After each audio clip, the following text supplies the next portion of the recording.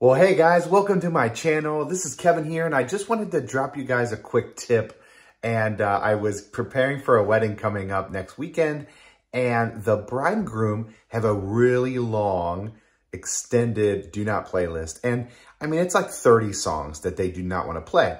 So typically that's not that big a deal when we have a couple like, you know, one, two, three songs not to play.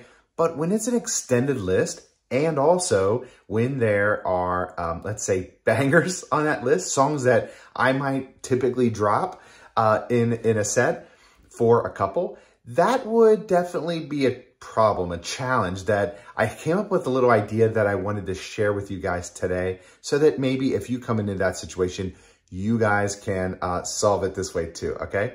So first, let me show you guys just a quick look at this do not playlist. All right, so here's just my computer screen, and I've got basically like the um, my little uh, prep sheet here. This is my uh, sheet that I pull together, and I put everything, all the information, all the details in, and I print this out. Usually it's like, you know, one or two pages, and I execute the wedding from this. But here is basically uh, all the must plays that the, the folks want, and the do not playlist. And you can see it's, it's kind of lengthy.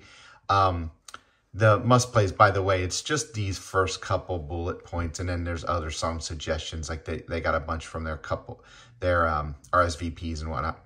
But any case, you can you can see they've got a lot of things on here. They've got some things that, you know, might be questionable, you know, things that I wouldn't typically play, but certainly some things that I might drop here, um, you know, just in the normal course of DJing, having some fun. So like, you know, staying alive, that's a staple for me. Everybody likes, especially the older crowd. And that's one of those that work across uh, families and genres. Look at this, We Are Family. I mean, there's just some of these that aren't, they're not, let's say, um, must plays, but there's certainly uh, some timeless classics. Ain't No Mountain High Enough. Um, any case, I also do this other thing where I ask always, I uh, quiz my couples on what is your, you know, genre affinity? What what genres do they really like? And I ask them to do a, a three, two, one, zero kind of scoring, and they, they kind of gave me their thoughts. So some of these up here, um, you know, might fall into these, and I might have picked them.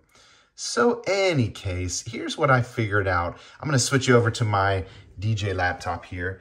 And um, so I just have my collection here. And what I did was I went over, uh, and this is rekordbox, by the way. I went into my rekordbox and I'm just going to sort here by name. And check this out. I basically put a tilde in front of every song that was on their Do Not playlist. So I just renamed the track title with a tilde. Okay, so you can kind of see this, right? Now, uh, a lot of these tracks, I got multiple versions. I got, you know, like remixes. That's what this RMX means. I got like redrums or like, you know, uh, I got uh, multiple, you know, multiple versions. Uh, some cases like Jump Around by House of Pain. There's this new track called Jumpin' by Pitbull that's really just a sample of that track.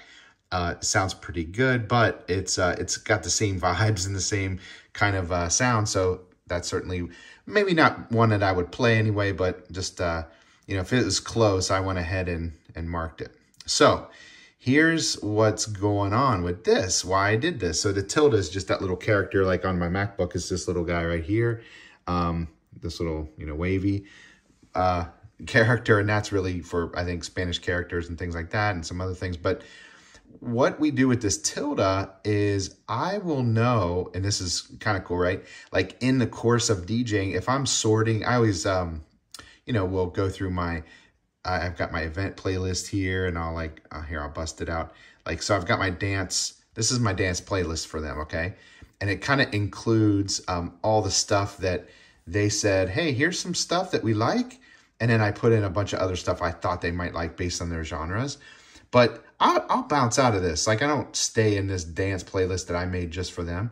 I'll bounce out of this. Like, maybe I'm rocking with some, uh, you know, some Flo Rida or, you know, doing something like some Chris Brown or something. And I'm going to, like, bust out, if that's, like, catching fire on the dance floor, I'm going to bust out into some other playlist or go through my collection, maybe find something else that might work.